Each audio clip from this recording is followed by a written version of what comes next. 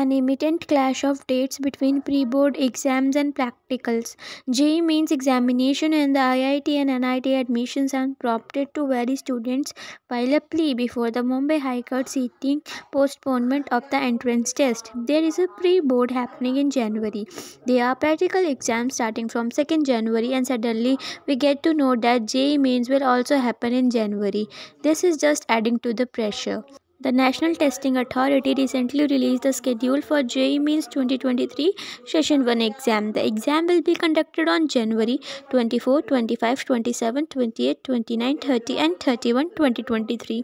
As per the schedule by NTA, following the release of the schedule, aspirants started flooding the Twitter with the demands to postpone JEE Mains 2023 exams to April as it is clashing between state board exam, pre-board exam, practical exam and even entrance tests like CLAT, Common Law Entrance Test, and NDA National Defense Academy Entrance Test.